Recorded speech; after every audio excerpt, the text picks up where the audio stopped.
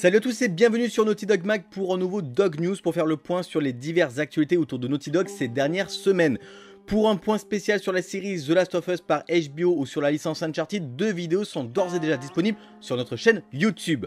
Concernant l'actualité autour de Naughty Dog spécifiquement, nous avons appris que Naughty Dog a recruté Anders Howard au début du mois de novembre. Cet homme a travaillé aux côtés d'Epic Games sur le projet Pass de combat de Fortnite, permettant de mettre en place un système payant afin de débloquer diverses récompenses. Il est donc quasiment certain qu'Howard a rejoint les équipes de Naughty Dog pour travailler sur le stand-alone multijoueur de The Last of Us. Pour rappel, les prochaines informations devraient arriver en 2023.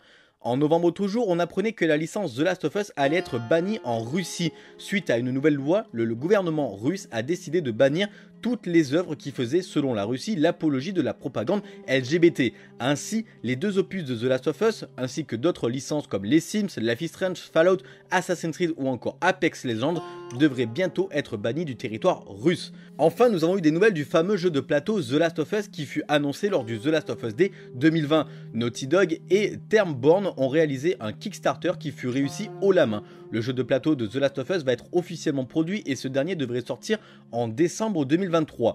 Pour rappel, le jeu de plateau The Last of Us est un jeu coopératif édité par Temborn et spécialement designé par Thomas Pikes, James Shelton et Alex Crispin. Ce dernier est d'ailleurs celui qui a signé les illustrations du jeu.